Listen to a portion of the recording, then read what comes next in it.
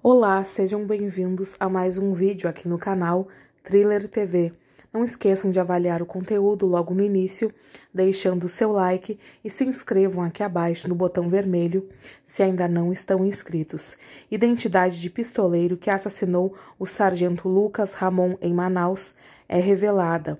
O pistoleiro suspeito de matar o sargento Lucas Ramon Silva Guimarães foi identificado pelo nome de Silas Ferreira da Silva e ele tem 26 anos. Foi preso na noite desta segunda-feira, dia 22, no bairro Colônia Antônio Aleixo, zona leste de Manaus. A moto que teria sido utilizada no dia em que o homicídio aconteceu foi apreendida, mas a polícia ainda não obteve a confirmação se é de fato a mesma moto que ele usou no dia em que matou Lucas Ramon. O suspeito foi encaminhado para a sede da delegacia especializada em homicídios e sequestros. Lucas era genro do dono do Hospital Santa Júlia.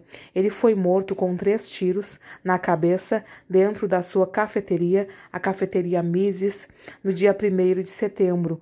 O pistoleiro teria sido contratado por Joabson Gomes. Joabson ficou furioso após descobrir um caso extraconjugal de Lucas com a sua esposa, Jordana Freire. O casal é dono de uma rede de supermercados muito conhecida naquela região.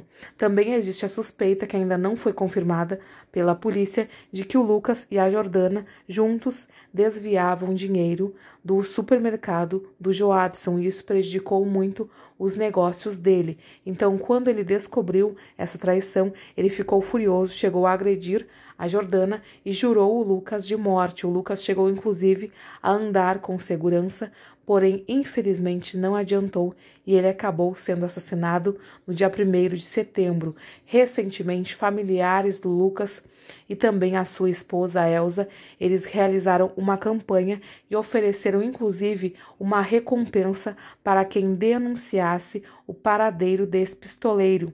Joabson e Jordana já haviam sido presos, porém o pistoleiro ainda não havia sido encontrado, foi localizado ontem pela polícia e já está preso.